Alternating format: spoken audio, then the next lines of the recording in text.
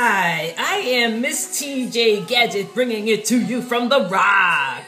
And um, I want to give props to the Black Eyed Peas. They're in the background playing. Can you hear them? Now, this video is dedicated to my oldest sister, Kim, because she is a cook in the kitchen. She can cook. Even though you might have to wait a little bit, it is worth the wait. Thank you, Kim. so, anyway, or you're so hungry. No, no, it really is worth the wait. She makes some, she really is a good, excellent cook. And she's an excellent seamstress too, and et cetera, et cetera. And she knows a lot about anthropology and, and the global stuff. Um, but anyway, back to the cooking. Um, dedicated to Kim. And uh, this is upstate New York in the Rock. And it gets kind of uh, cold in the winter. We have the four seasons, which is really great. But it gets kind of um, chilly. And so it's time to try the crock pot. Oh, get this out of the way. Paper towels. But uh, the crock pot. So I'm going to attempt um, to make a soup just out of things that I had in the in the refrigerator, and this is what you can do. And I am doing sort of a chicken um, bouillon. It's going to have a chicken flavored soup, and so I used a packet of this, and um, I have some baby carrots up in here, and then you can. I had a, a cut up an onion or two, and then I had some fresh uh, garlic. Um, and I cut that up, chop that up, and then uh, you season it to taste with some some salt and some uh, whole black peppercorns, so it gives a little uh, little kick to it.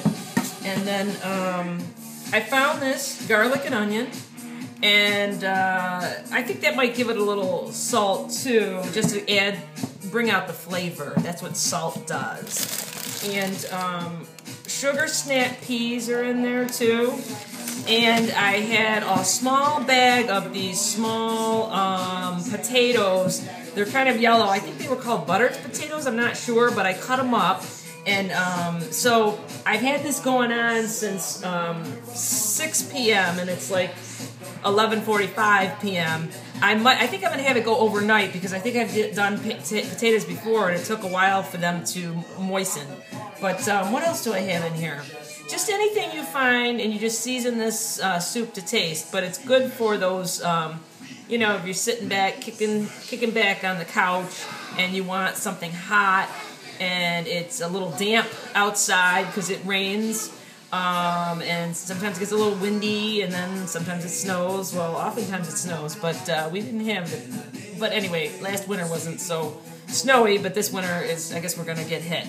But uh, in the meantime, let me show you what it looks like. And I will open this up. Now, how am I going to do this? I'm going to open this up to see what's been cooked. Oh, actually, some of the potatoes are getting kind of brown on the tips. So I'm thinking... Oh, there's, they're still hard, though. They still have to soften up. Um, I smell the pepper and the garlic. Mmm. I definitely smell the pepper. I hope I didn't over pepperize it, if that's a word. Um, but it looks really good, and you can put this um, over something. It's it's it is kind of a watery soup, but I'm telling you, when you are cold, I'm sure this is going to take really, taste really good. And you could put like uh, tomatoes or something in there too. Um, so I am Miss TJ Gadget, bringing it to you from the Rock, and I'm going to sign off. If Jerry, Jerry.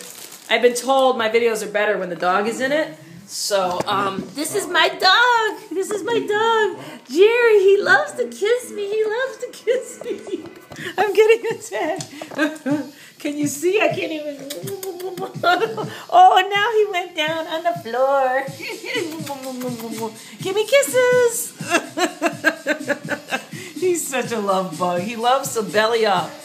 Okay, so Signing off, Miss TJ Gadget, bringing it to you from the rock.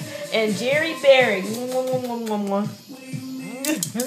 oh, now he's gonna shake on me. Okay, ciao.